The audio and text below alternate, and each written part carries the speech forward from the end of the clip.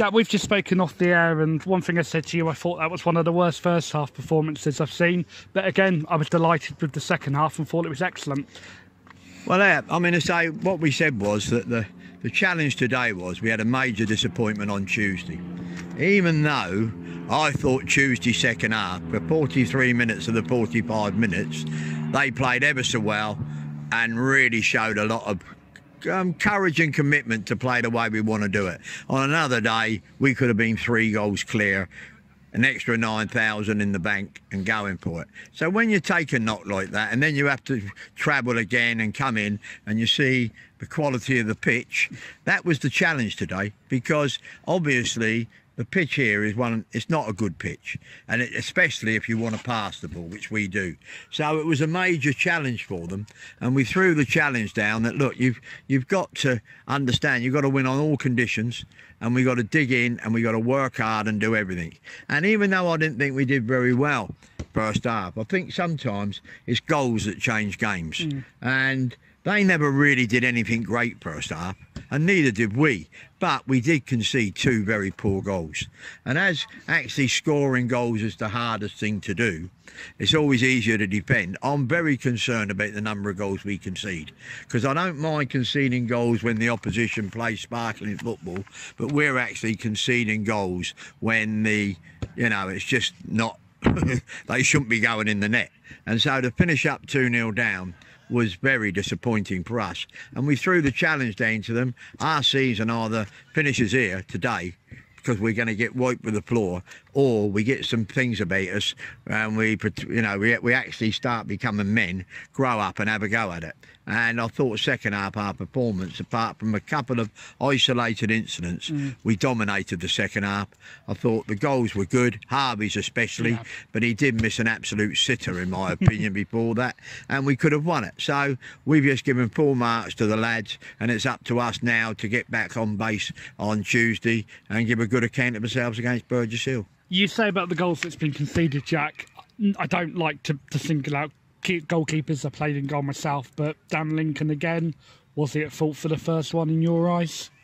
Um, I think Dan would admit himself he could have most probably done better on both the goals, but um, uh, I thought we could have done maybe a bit better with heading it. What we're having a problem with at the moment, every time we give a free kick away and a ball comes in, we look vulnerable, and we need to address that problem. But you know, he's proved in the past he's a good goalie. I think one of the problems we have is the fact that I shouldn't think he's doing a lot of training at the moment due to. Don't forget, in past years he's been training at Portsmouth and playing for us.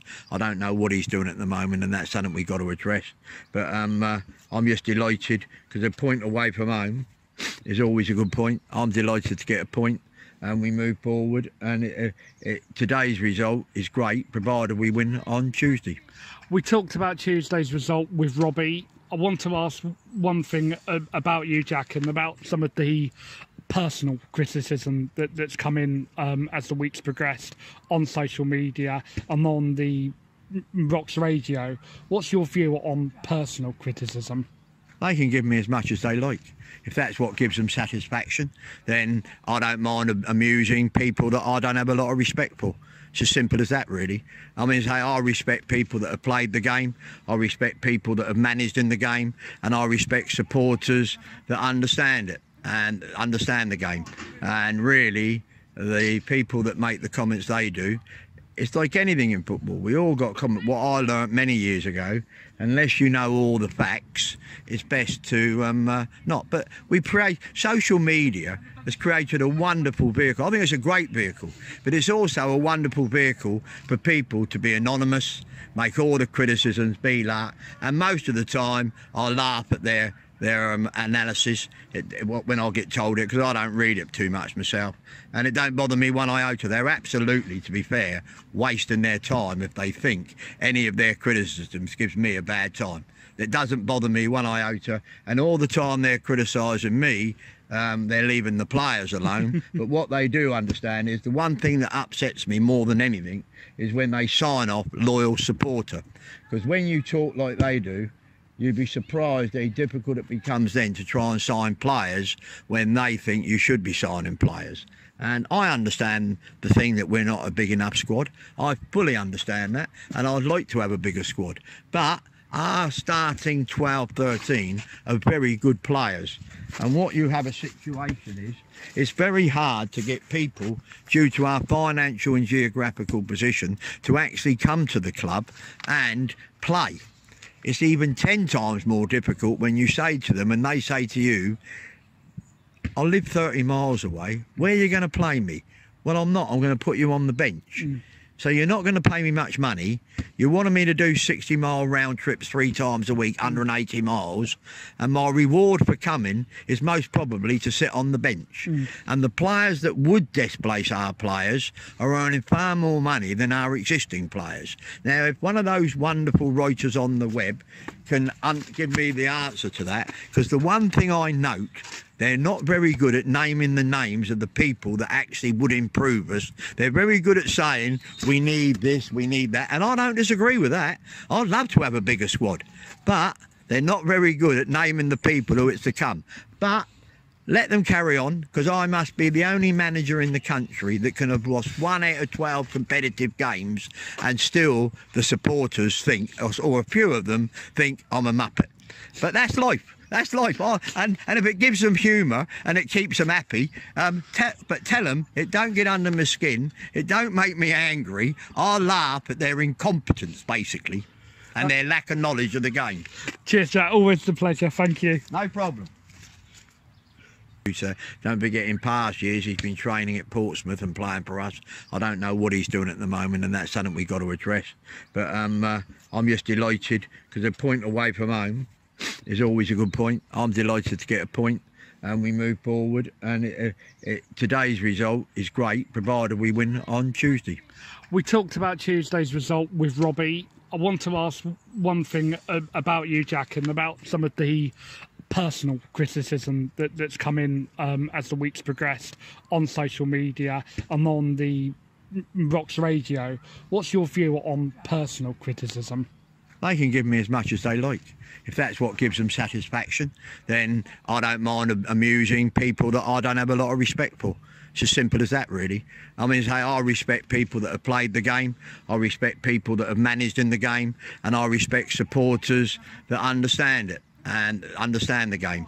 And really, the people that make the comments they do, it's like anything in football. We all got comment. What I learnt many years ago, unless you know all the facts, it's best to um, uh, not. But we pray. Social media has created a wonderful vehicle. I think it's a great vehicle, but it's also a wonderful vehicle for people to be anonymous, make all the criticisms be like, and most of the time I laugh at their their um, analysis when I get told it because I don't read it too much myself and it don't bother me one iota they're absolutely to be fair wasting their time if they think any of their criticisms gives me a bad time it doesn't bother me one iota and all the time they're criticising me um, they're leaving the players alone but what they do understand is the one thing that upsets me more than anything is when they sign off loyal supporter because when you talk like they do you'd be surprised how difficult it becomes then to try and sign players when they think you should be signing players.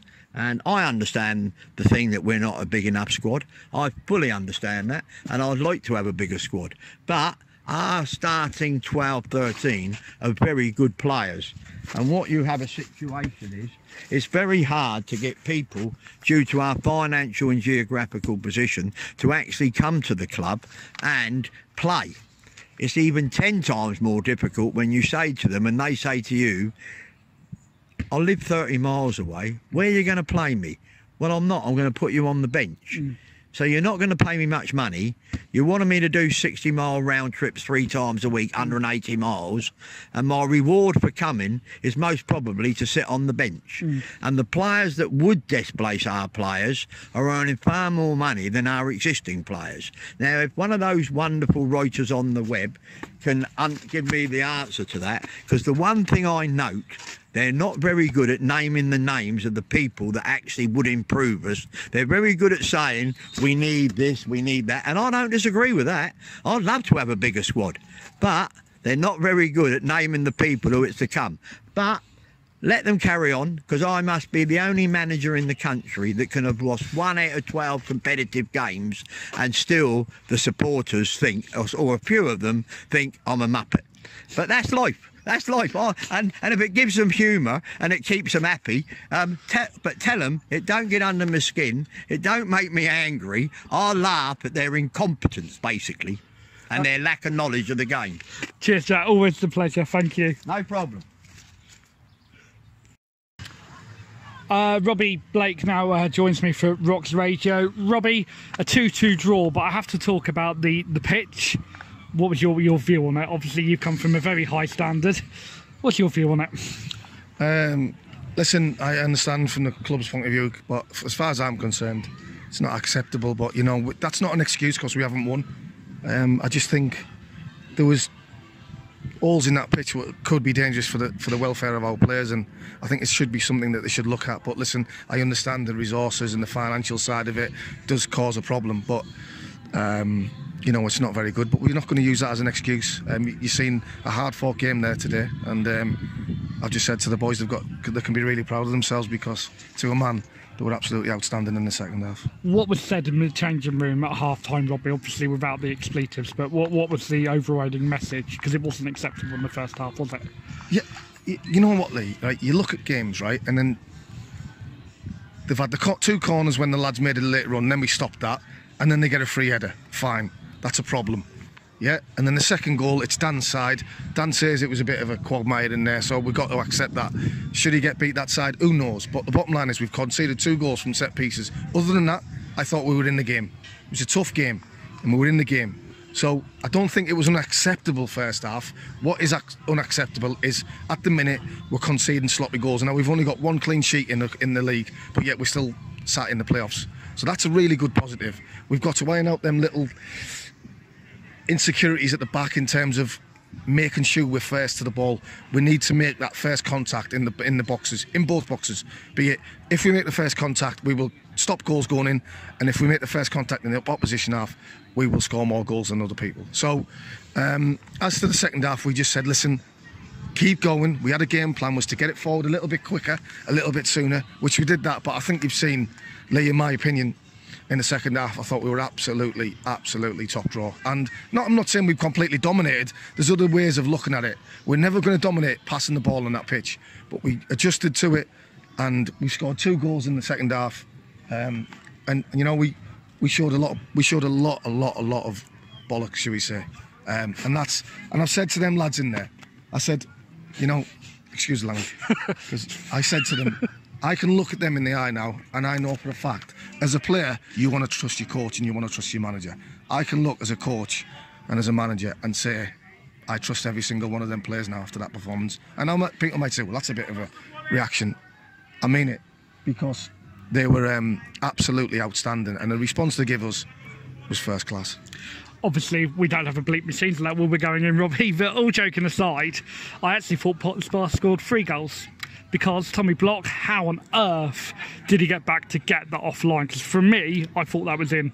Yeah, no, but that's just going, going to show that people are running for the cause and running for this football club, and they'll do anything they can at certain areas to, to stop a goal going in. And that's what people have to do. We have to sacrifice certain things, and we have to run together, and we have to we have to fight together. And that was a second half battle performance, and I think we richly deserved the two um, yeah. the 2 2 score.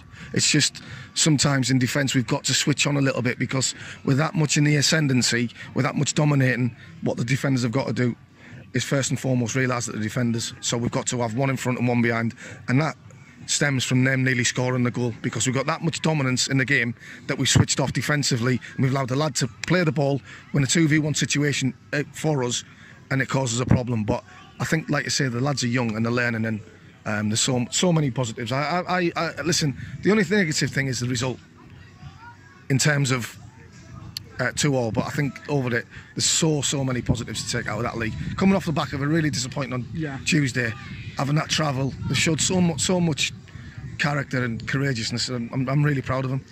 Robbie, let's talk about Keaton it's obviously minutes after the game, but how bad is the injury looking? Because it didn't look good and he was yeah, off. Yeah, it didn't look good. The lads said on the pitch it didn't look good, so we'll, obviously we're after to assess it. But the one really positive was that Corey come on and done a really good job. I thought. I thought Corey was quite commanding, won a lot, lot of headers. Mm. Yes, he's still lacking minutes, but I'm pretty sure he'll top up that now. And he's got to go on Tuesday now and be ready to play. I've just told him that there. So um, you know, if it is Keaton who's out, then obviously Corey's got a chance to, to get himself in the team. Well, we go again on Tuesday against Burgess Hill, a local derby, a couple of ex-rocks in that lineup. It's going to be hopefully uh, a interesting crowd there on Tuesday under the lights at the nine camp. Yeah, yeah, it's it's perfect, isn't it? Lights on the lights at home against um, you know, a derby, which is fantastic, and I just think the response of them players that should set them up for the next couple of games. We win these two back-to-back games at home. We know it's not going to be easy, but if we apply ourselves how we have in the second half, you know, we, we should have some positive outlooks. And um, you know, if six points in, in one week is well, seven points sorry in one week in them three games is massive for us. Well, Robbie, pleasure as always. Safe journey home. Top man, Lee. Cheers, mate. Cheers, Thank buddy. you.